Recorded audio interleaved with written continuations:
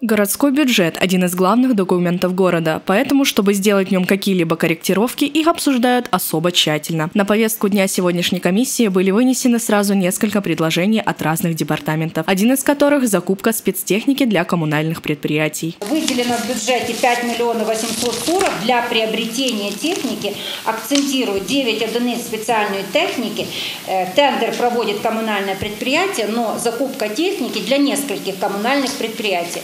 КП «Побережье» на одной из предыдущих комиссий э, идет уборочная техника, КП «Спецкомбинат». Не оставили без внимания и программу «Безопасный город», в рамках которой планируется докупить еще камеры видеонаблюдения и необходимого современного оборудования для создания единой сети наблюдения, которой со временем подключат еще и частные охранные камеры. Киев в прошлом году потратил порядка 120 миллионов гривен. Они умудрились за два месяца установить 3700 камер. Значит, как они работают, я увидел, как они работают.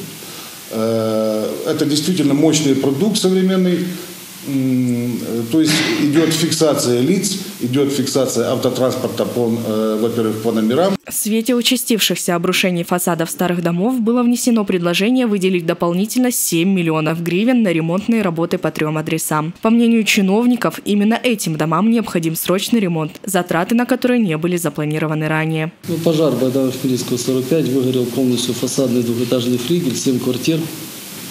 По Петровского, бывшая сегодня Фисенко 11, это разрушается, это бывшее общежитие ведомственное, которое было передано нам в таком виде. Ну, все объекты, которые требуют... То же самое, двухэтажный фасадный флигель напротив привоза разрушается. Куда будут тратиться деньги, понятно, а вот самое ли важное это направление, у каждого свое мнение. Главное, чтобы деньги доходили до назначенных счетов в полных объемах.